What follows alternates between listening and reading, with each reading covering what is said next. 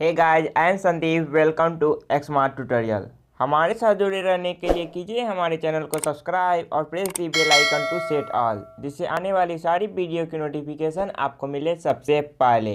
तो आज मैं फिर आपके लिए लेकर आया हूँ एक और इंग्लिश कन्वर्सेशन का क्लास जिसमें मैं आपको सिखाने वाला हूँ कि अगर आप अंग्रेज़ी सीखना चाहते हैं, आपको कठिनाई होती है तो आप कैसे इंग्लिश बोलना शुरू कर सकते हैं।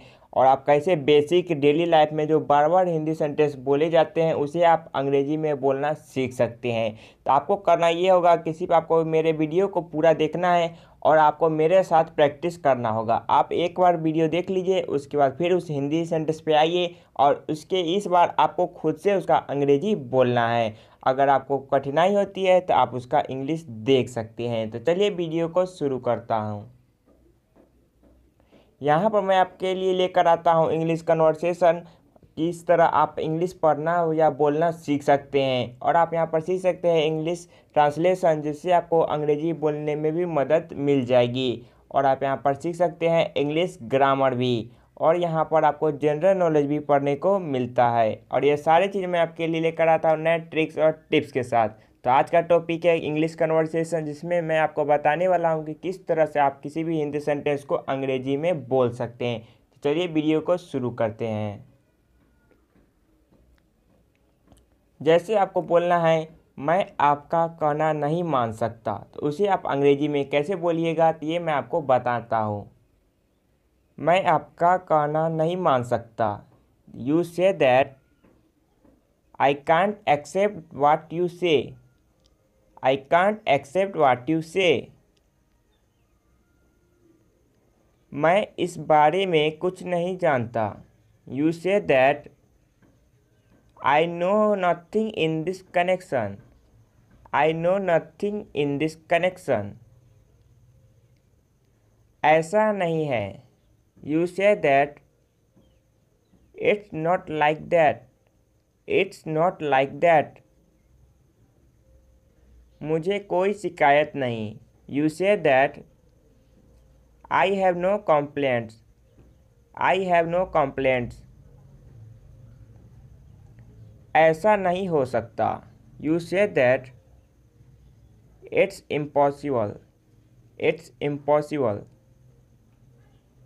मुझे कुछ नहीं चाहिए। You say that I don't want anything I don't want anything या मैं कैसे कर सकता हूँ? You say that how can I do this how can I do this तुम्हें इस बात की इजाज़त नहीं देनी चाहिए। You say that you should not allow this you should not allow this दूसरों की आलोचना न करो। You say that don't find fault with others don't find fault with others अपने धन पर घमंड न करो। You say that don't be proud of your money don't be proud of your money किसी को धोखा न दो। You say that don't cheat anybody don't cheat anybody जिद्दी मत बनो। You say that don't be stubborn don't be stubborn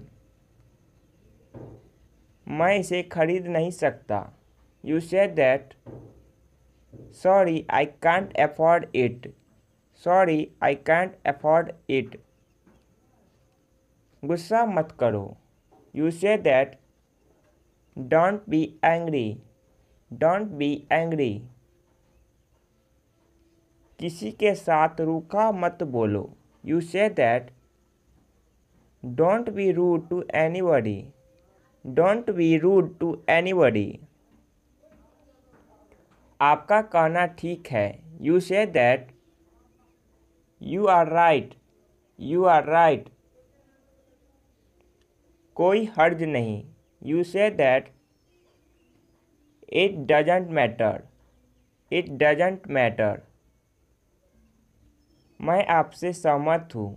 You say that I agree with you I agree with you मैं आपकी सलाह के मुताबिक काम करूँगा।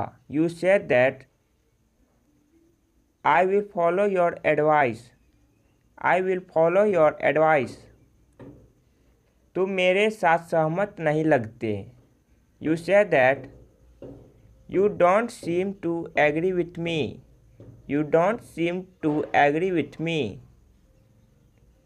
मेरी सहानुभूति आपके साथ है। You say that my sympathies are with you my sympathies with are with you मेरी वजह से आपको कष्ट हुआ। You say that you had to suffer because of me you had to suffer because of me मुझे कोई एतराज़ नहीं है। You say that I have no objection I have no objection तो इस तरह से इंग्लिश कन्वर्सेशन सीख, सीखने के लिए हमारे साथ जुड़े रहिए। अगर आप हमारे चैनल पर नए हैं तो कर लीजिए हमारे चैनल को सब्सक्राइब और लाइक और शेयर करना मत भूलिएगा। तो अब मिलते हैं इसी तरह के नेक्स्ट वीडियो के साथ।